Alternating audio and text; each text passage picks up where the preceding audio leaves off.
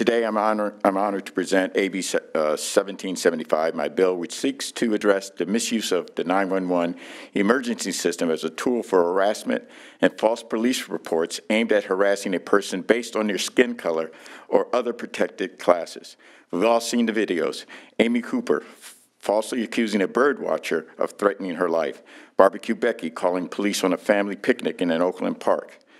In addition, this term suspicious looking, only a few of us in this room know what it's like to be accused of being suspicious looking. Black and brown people have been experiencing this for, for, for centuries. Uh, We also know about in 1955, an a young 14-year-old named Emmett Till was lynched in Mississippi because a white woman said he offended her, a story which she, she recanted decades later. And now colleagues in this building, one of my staffers at, at the Costco here in, in Sacramento uh, was recording a woman that was, would not put on a mask at a Costco. She told him that she wanted to see the, the, the film that he had taken on his camera.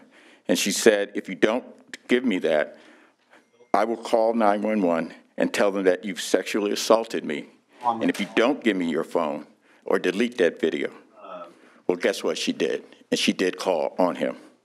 Luckily for him, in this case, law enforcement and the business community, Costco, came together, told law enforcement that this woman was making a false accusation, and people that were in that store backed him up. But what would have happened if it was just his story versus hers? What would have happened? These are perilous situations that false 911 calls cause between law enforcement and the communities they serve, but it doesn't have to be this way.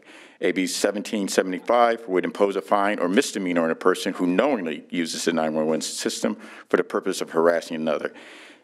Number two, it'll enhance penalties for knowingly making nine, false 911 calls, system calls targeted at a member of a protected class, amend the Civil Service Code section on privileged communications to make clear that making a deliberately false report to law enforcement targeting another one is not a privileged communication.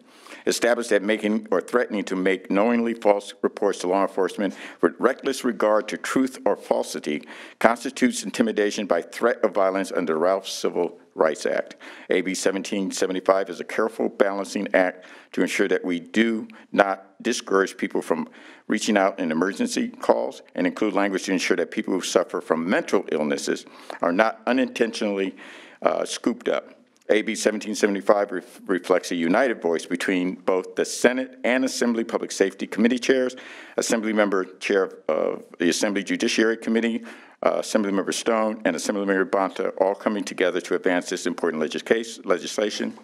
Support for this bill is growing by day, and it has no registered opposition. I respectfully ask for your aye vote.